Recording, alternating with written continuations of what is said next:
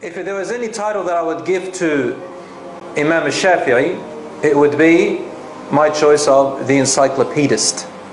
Encyclopedist. In the encyclopedia you'll find information about almost anything.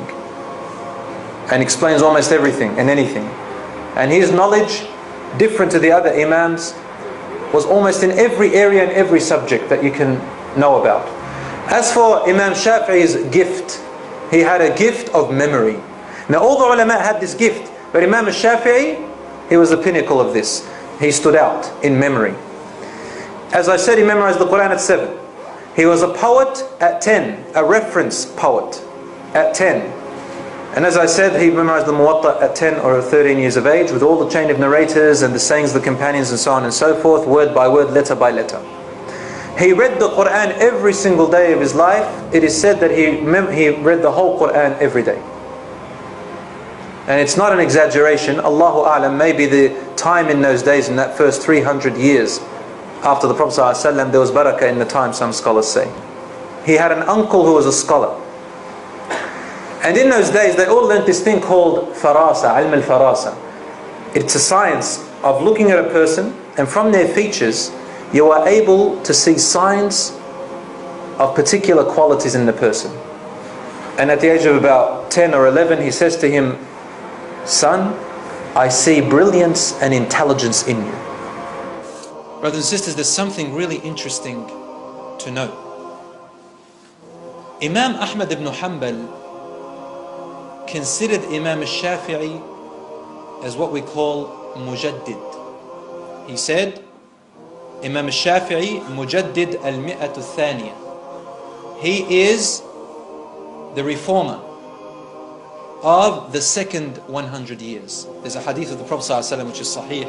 He said every 100 years, every century, Allah subhanahu wa ta'ala brings about someone to reform this din, to take the people back to the original teachings of the Prophet ﷺ. People go lost, so instead of sending a prophet, he sends a alim that brings these people back.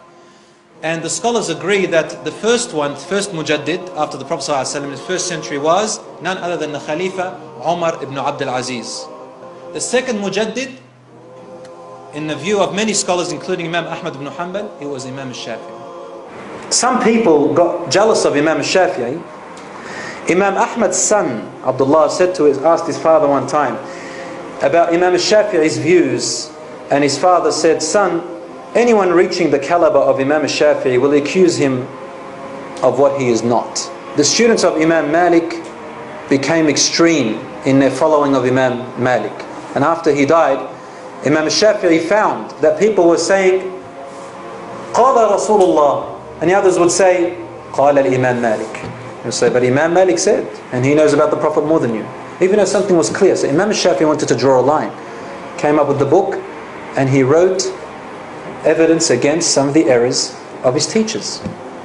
Because of this, and because of all these different accusations, and because Imam Shafi'i became the top in the world in his time, Imam Malik's students, and this is a problem, they hated him a lot, and they waited for him when he was delivering a dars in the masjid in Yemen. They entered upon him and after he finished his lesson, they attacked him. And they beat him until he became unconscious. He died a few days later. Now the scholars say he didn't die directly from the wounds. So he wasn't, they don't say he was murdered by his students. But he had another disease, another illness. That when he got beaten up, it exacerbated, it made it worse, and then he died. He stayed in his own, he died there. But as a result of that beating up by the students of his great Imam and great master. We call this, there's a word called paradox. Have you ever heard of that word? Paradox. If you fill the cup too much and it spills over, no one likes that. If you have food and you add too much salt in it, it tastes nice with salt. But if you put a kilo of salt in it, the food is ruined. If you put no salt at all, can't taste it. So anything that goes to extremes becomes, well, billah, corrupt and destruction.